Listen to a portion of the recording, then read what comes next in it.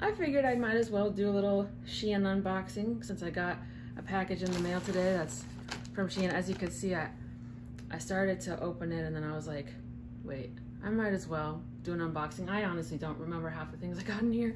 Um, but, you know, I, they always have good coupons. It's always really cheap stuff. I normally end up spending like a hundred bucks on a lot of stuff, but yeah, there's always coupons and things. And it does take a while for the shipping to happen.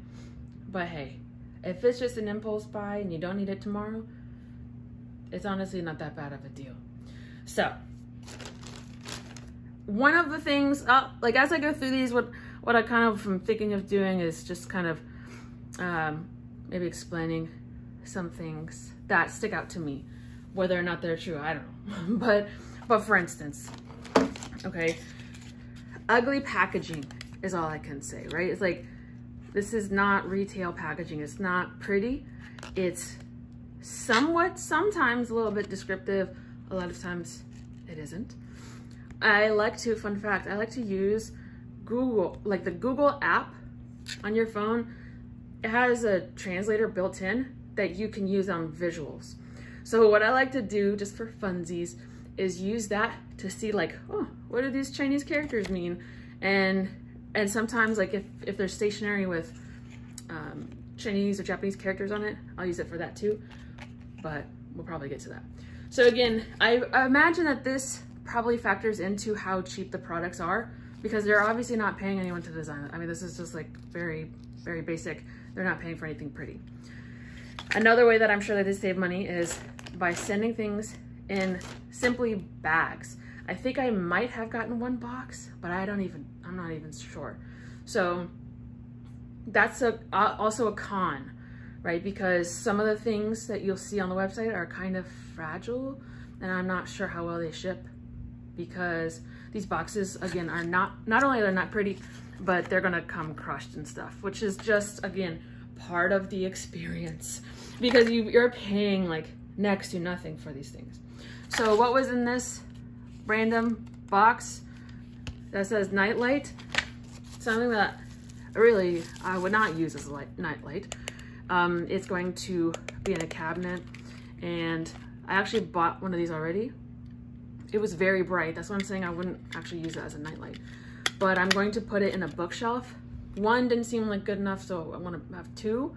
And I'm going to have it like it, they have it in the picture where you have two and then the lines of the lights overlaps a little bit. So, you know, again, cheap, and it feels cheap. I mean, it feels like empty because I mean, it pretty much is. But it's bright. Again, if if you're just looking for like kind of cheap, fun, random impulse buys, yeah, it, it fits the bill. Next we have, again, another blank package and nothing um, legible. Those are that's what I was gonna say. L legible, except for made in China. But as for the, these characters, I have no idea. But that's when I could bring out my Google Translate, but also, let's see, low voltage lighting. So again, sometimes it tells you some actually useful things if you know what you're doing. I don't remember what this is, so let's find out. Oh, okay. So this is a little like Halloween lantern.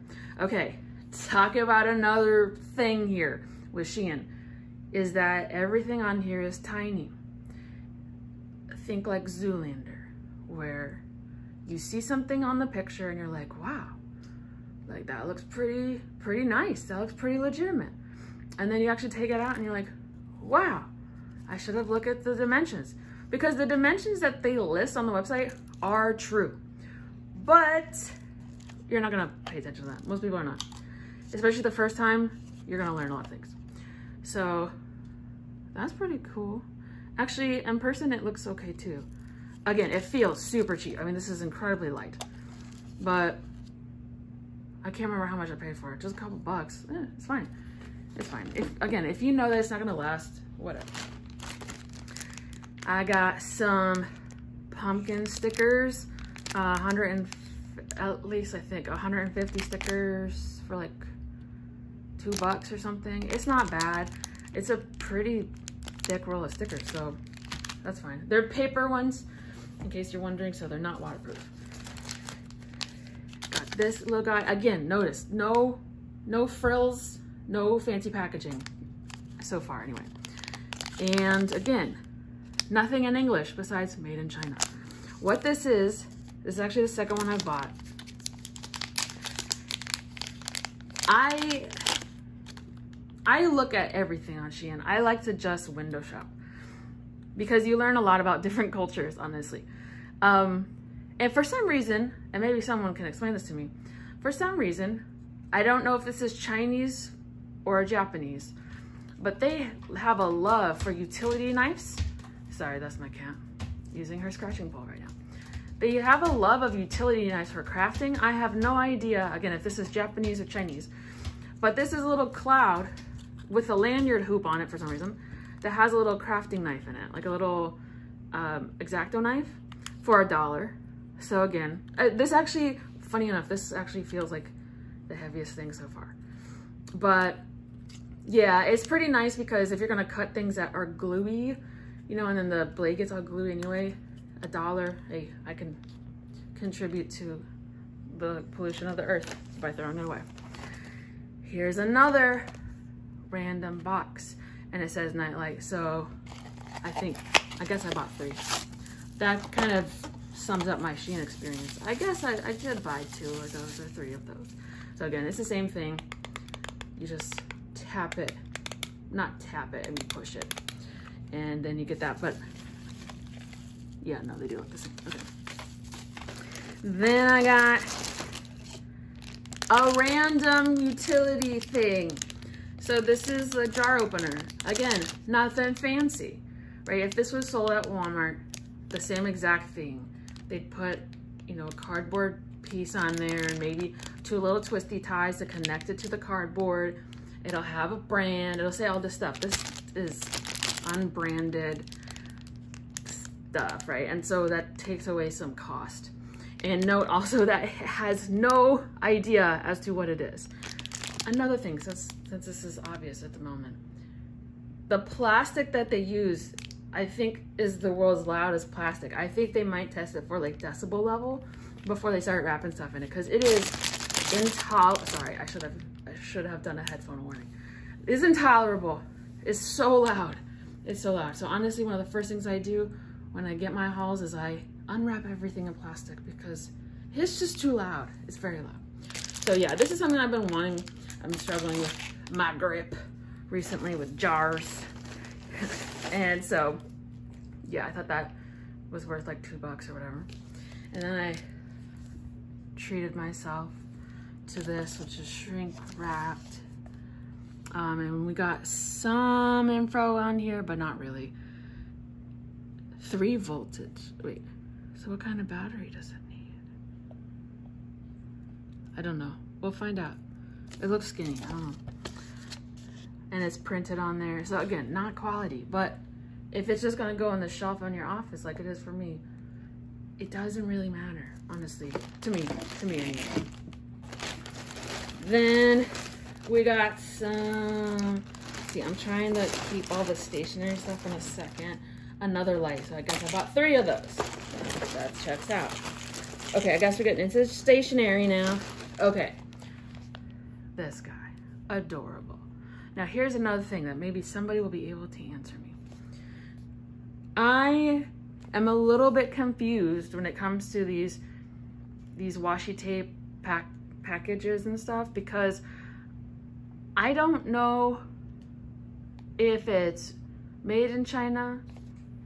Okay, this one says made in China.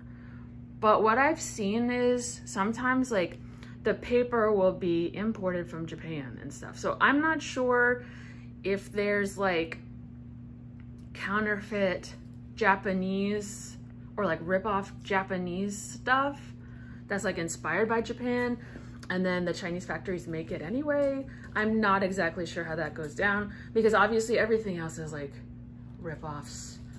um, and so I'm not really sure about this. But the washi tape is like just honestly very cute. I don't even do anything with washi tape, but it's just cute. So I want to find uses for it.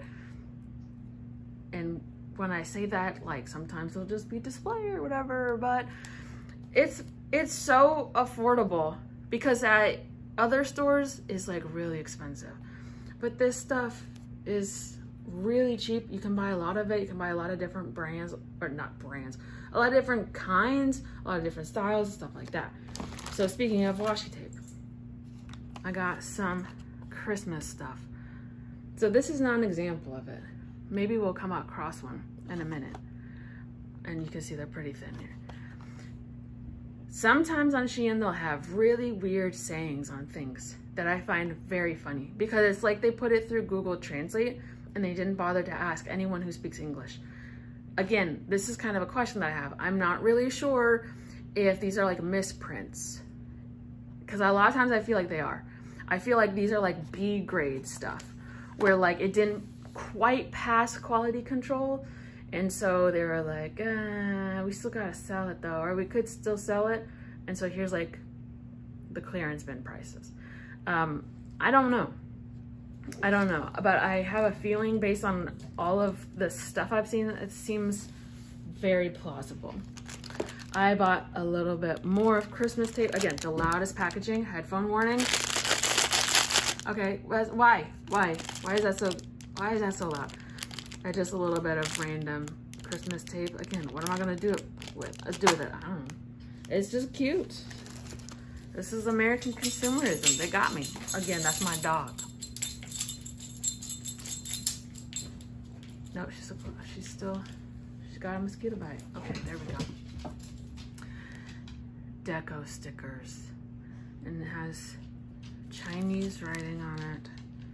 Made in China, this says made in China. Okay, now one little hint for you is that these are kind of see-through stickers, which means that they're not gonna have a white outline. So that was something I did not take into consideration the first time I bought a haul of things. And so I was spending too much time cutting off the white edges, which I did not like. So then my next order, I'm, I was just like, okay, let me get me some translucent ones. And then there's things like this. Don't super know what it is. I think it's like flags and thing or like highlighting stickers, like translucent. I'm not really sure. We'll find out. That's part of the fun.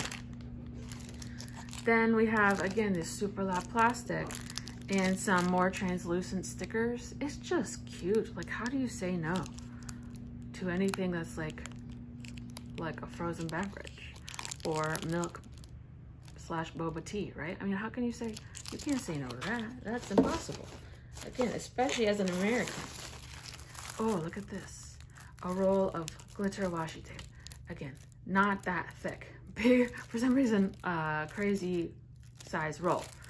But they also have washi tape holders and dispensers. So literally for my office, I got, they had like a rainbow pack so I split the pack into two and I put half of the rainbow in one of my containers and half in the other so that I could just display it and it looks kind of kind of cute if I may say so myself. We're almost done. We have, I don't know. Um, so if anyone knows what this says, oh, never mind, it must be washi tape. Just kidding, ha ha ha. But look at this one. So some of them are really thick and have a lot of washi tape and some of them have barely any. But another Christmas one. And then some more translucent stickers. I'm trying to knock them down at the bottom. Are just adorable, made in China. And almost done. We got some more translucent stickers. Again, I was trying to go for that translucent. Oh, that was my dog. She's saying I need to stop talking. Okay, I got this, which is cute. It has like five different little, okay, hold on. She's getting really mad. I guess I have to get off the phone now. Okay, so this is like cool stuff. There, I would highly recommend these. Highly recommend these. They have a lot of cute stuff and a variety of stuff inside. I am so sorry, my dog. Last one is some, some 90s fantasy gel pens. So that's my haul. My dog is saying get off the phone. So I guess I should. So yeah, type in the comments, you know, what you think or your experiences with them. I'm curious. This is absolutely not sponsored. You can see by how many subscribers I have. This this is nothing. But I just thought I would share because I, I haven't seen that much stuff. And a lot of times it's about the clothes. And then a lot of times it's like it's like influencers who are clearly not giving true true reactions. So sorry for the long video, but I wanted to show you my home. And I must go. My dog is calling. Bye.